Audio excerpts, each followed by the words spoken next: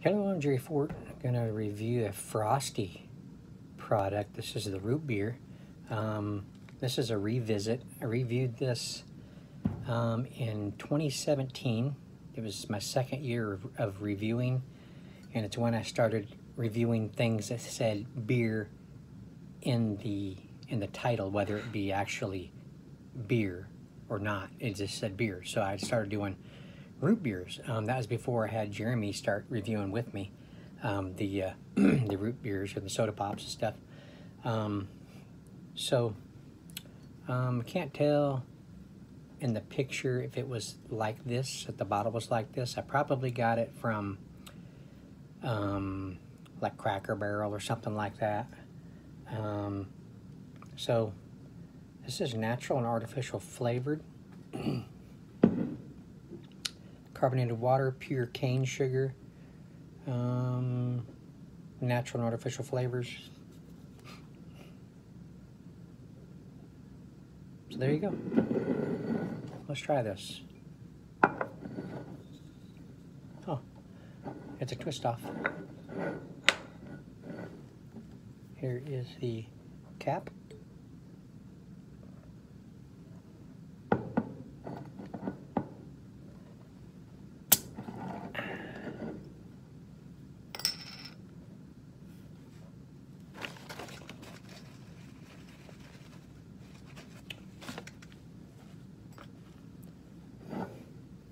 Mmm.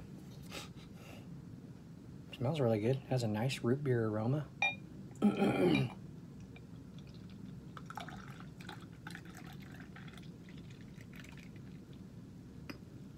nice carbonation. Dark caramel appearance. Has a very little head still there. It's kind of a, a mocha kind of head. It's going away pretty quickly.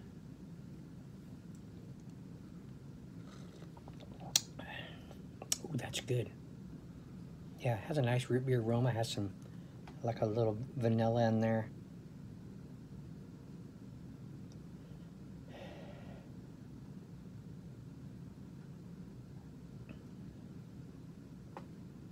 Sweetness on the aroma is about about a medium to high. Smells really good. All right, let's try it.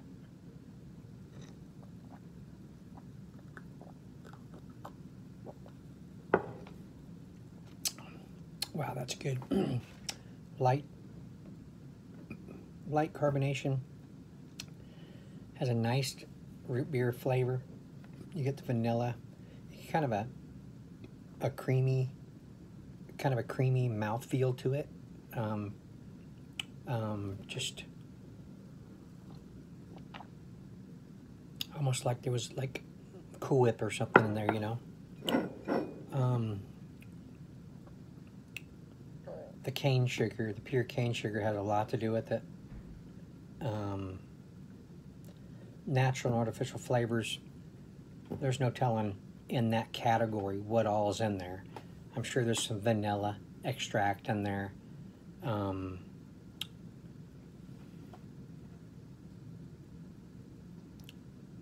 I don't know what else.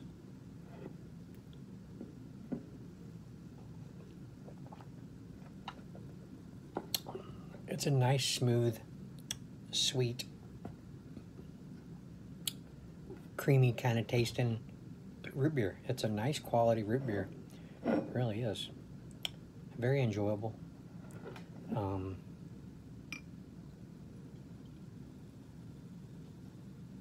I got this at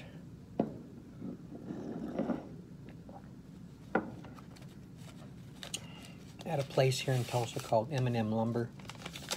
It's a lumber company, but they have tools, supplies. It's called M&M lum Lumber. Um, walked in one day with the guy I work with and uh, saw it out of the corner of my eye, refrigerator, um, with all these different craft, antique looking, you know, uh, classic soda pops. Um, this one here was $1.89. All of them actually were $1.89. Um, So I got a bunch of them to review with Jeremy. He, he's he's pretty busy, so it's hard to get him to review stuff with me these days.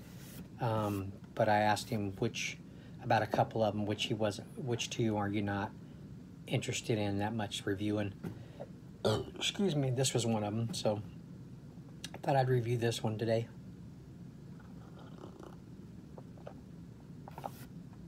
Yeah, very good. Okay. It has a nice aftertaste. It lasts a little bit, you know, it doesn't fade off real quickly. Kind of lingers. Um, a cool, classic looking um, label.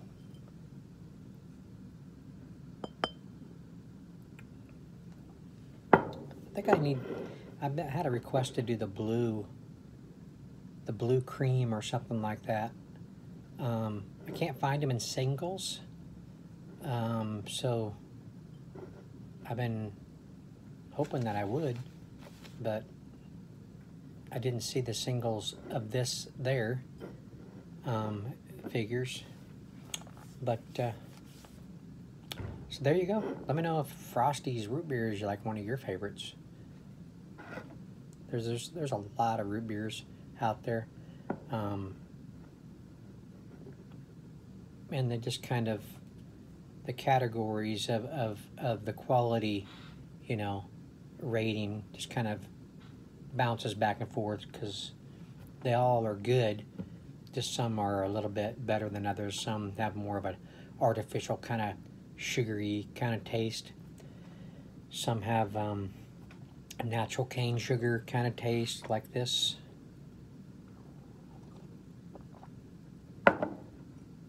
But there you go. All right, I'm going to end it there. I thank you all for watching. I appreciate it. And we'll see you on the next one. All right, bye.